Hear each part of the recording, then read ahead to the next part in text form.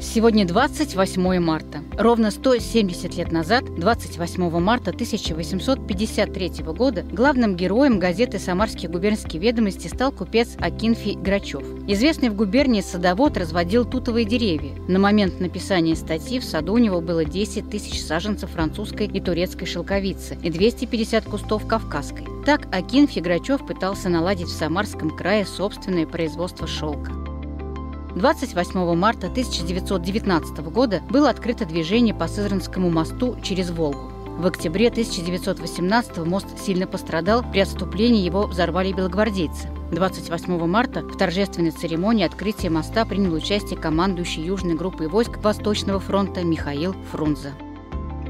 В народном календаре сегодня Александров день. В старину в этот день ждали прилета первых чаек. Это предвещало вешнее тепло и скорое начало ледохода. Кроме того, этот день назывался лесным ухожением, потому что полагалось большим уважением отзываться о лесе, который во многом был кормильцем крестьян, давал грибы, ягоды, дичь, целебные травы. Этими другими событиями и фактами ознаменован в истории 28 день марта. Удачи в делах вам и хорошего настроения!